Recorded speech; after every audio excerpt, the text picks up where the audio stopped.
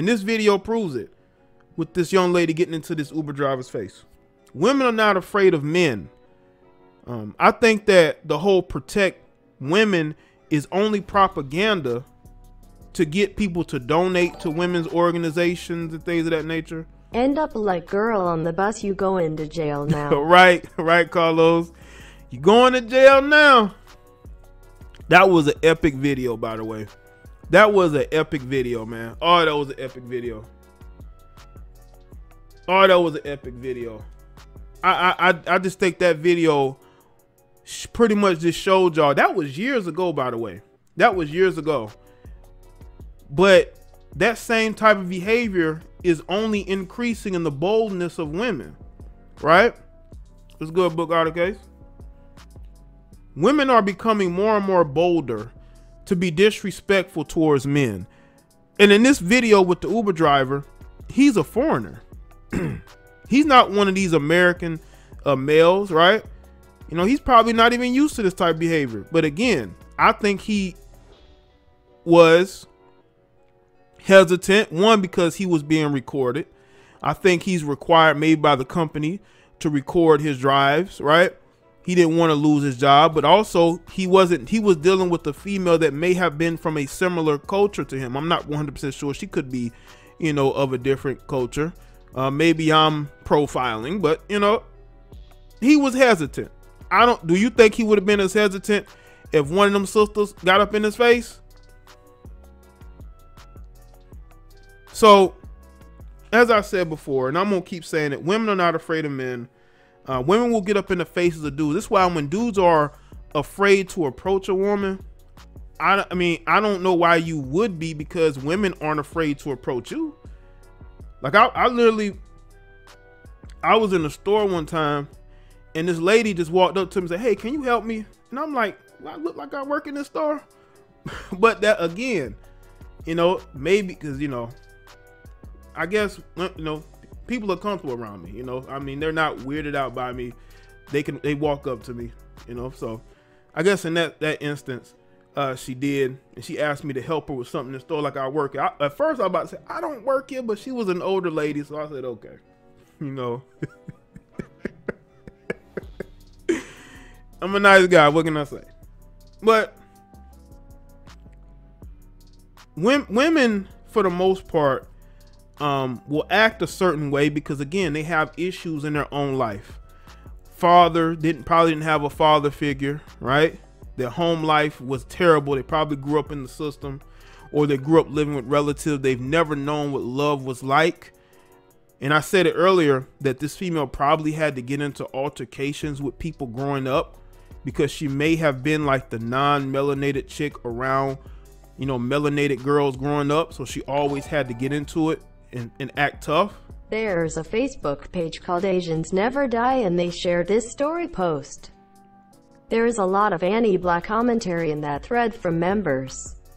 I mean, that doesn't surprise me. Um, people feel some type of way about us. And you know what? That's, you know, it is what it is. That's part of life. That's part of life, you know? And, uh, I think that those other groups do don't like us, but you know what? I don't care as long as you don't say it in front of my face. Like people can say anything in a comment section or a message board. I've been there. I used to see what was said in in in comment sections on websites um, about us, especially us as black men. I've seen it, but you know what? I don't let that dictate my life. I don't care what a stranger has to say about me on a on a social media post. But what I am troubled by is the fact that we perpetuate these stereotypes and we're out here making things worse for ourselves. And when I say that, it's because all these videos of us doing crazy things, we post them. We always recording, but we ain't never seen nothing. Right? We're we're recording the crazy things that we do. I would knock the Panda Express out them boppers. yeah, I mean, you know, listen, he probably thought about it and said, you know what, I don't want to lose my job. But again, would you blame him? You know, would you blame him? Like, this is totally unnecessary. But he probably has a family to take care of. A lot of these chicks don't care that these men have families, they have a wife, they have children that they have to take care of. They just want to ruin somebody's day. They didn't like the fact that he told them to get out of his to get out of his car because it tells me that the reason why he started recording was because they were already acting up when they got into his car. So because they got into his car acting up, they felt the need. No, no, he felt the need to record them and kick them out. So they felt the need to retaliate and get angry instead of leaving.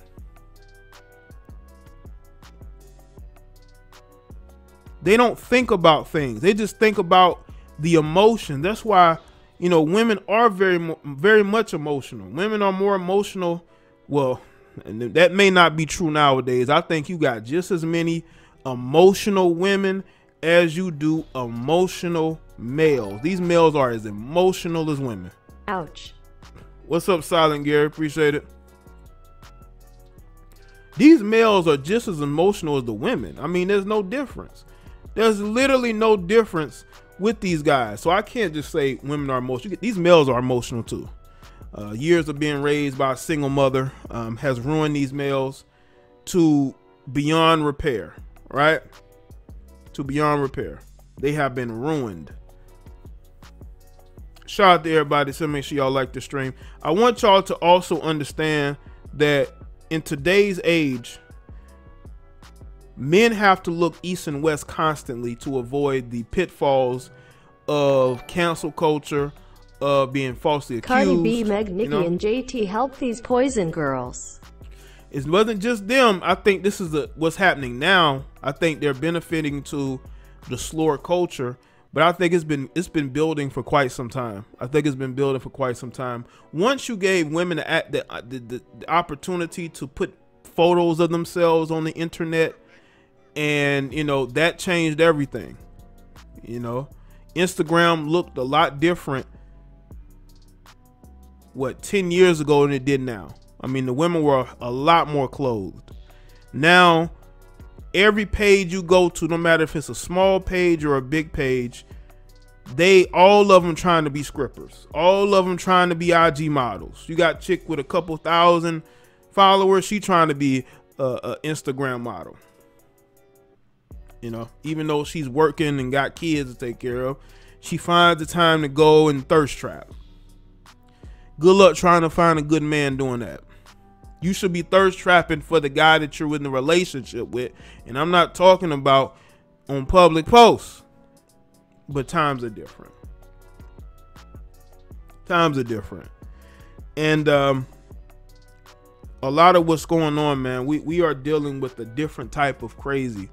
Um, the lunacy out here has grown. And I want y'all to understand that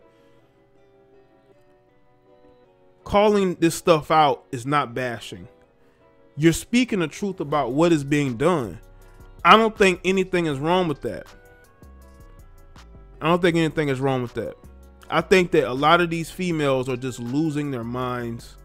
They're going crazy and they just don't know how to deal with the reality that a lot of them are not going to find the guy that they want. They're not going to get that rich that rich man that they all are clamoring for.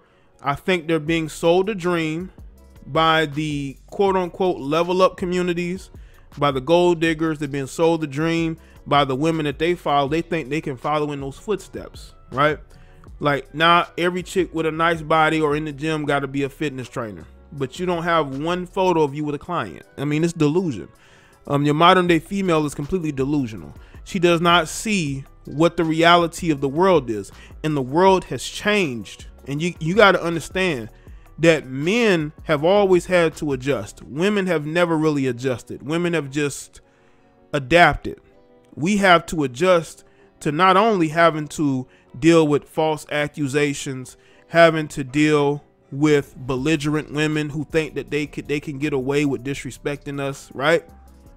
Women who have power who, you know, misuse it.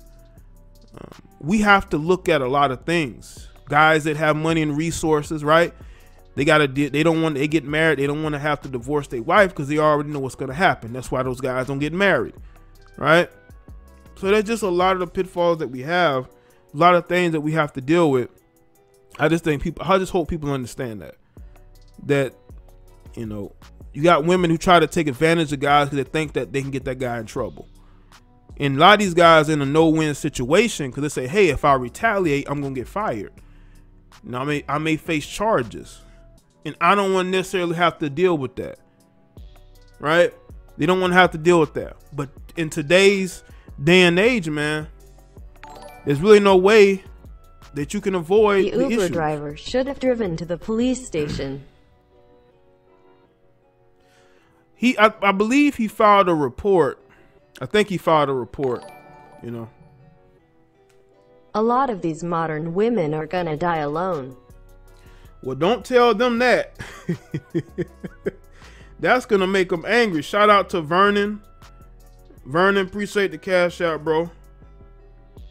Don't tell them that. It'll drive them crazy. But yes, I do agree. A lot of them are going to be very much alone. And they're going to be suffering. and they have nobody to blame but themselves. You can't blame content creators you can't blame you know people speaking their opinions. We got to look at the, why these modern women are just completely losing their minds. We got to look at the the overall issue here. They've gotten away with this for so long. The reason why they can go off on this uber driver is because they've done this before. And a lot of these guys don't want to get fired from their jobs. So they take it unfortunately but men are the problem. But men are just out here just going, you know, just going after women. That's a lie. That's propaganda. Yes, you have stories of men who don't handle rejection well, but it's all propaganda. Women have used the law and authority to cover their bad choices since they were kids. Appreciate that pot smoke. Oh yeah, they use everything. They use the court of public opinion, which is actually very strong the court of public opinion is very strong, okay? And when you're dealing with the court of public opinion, you're going to have to deal with the fact that you're going to be judged based off of her being a woman and you being a man. So anything she says is immediately going to be believed, right? She's going to be put in that situation where she's going to be able to tell people what you said or did to her. And a lot of people are going to believe her first because you have to believe all women. That's the narrative they want to go off of.